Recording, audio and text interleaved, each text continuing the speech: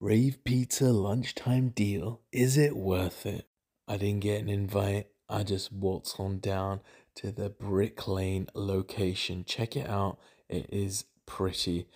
The day I went was after Halal Hunt posted about their visit, and I thought, why don't I go there? The staff was super friendly. This guy is such a nice guy. The internals of all Crave restaurants are really quite well done. This used to be Al Ikhwan. It was a inflation busting pre-COVID chicken shop that also did biryani. Now they got video games and pizza and chicken. What did I think of it? It looks impressive from the top, but when you actually bite down, there wasn't enough cheese. The chicken wings were saltless, a little bit bland. I'm not impressed out of the two or three times that I've been to Crave now.